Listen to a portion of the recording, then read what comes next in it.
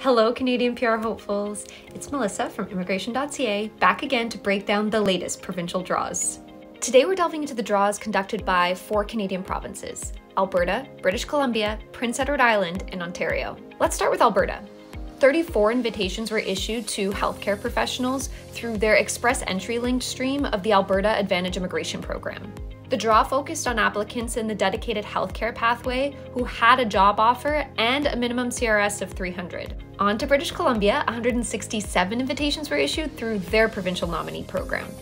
There were two draws a general draw, which saw 88 invitations issued across five PNP streams, and a targeted draw to construction, childcare, healthcare, and veterinary care occupations.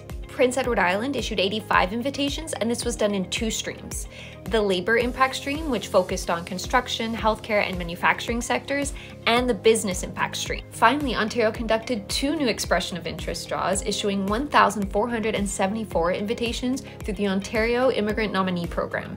This was done in two streams the master's graduate stream and the PhD graduate stream.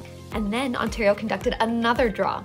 They issued 2,281 invitations to tech occupations through its human capital priority stream. So, what does this mean for you?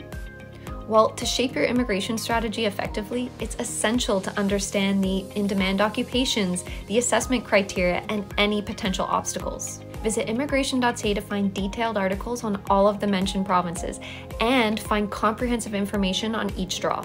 Are you ready to start your immigration process? Go to the link in bio to fill out immigration.ca's free evaluation form. And don't forget to follow to stay up to date on the latest immigration news.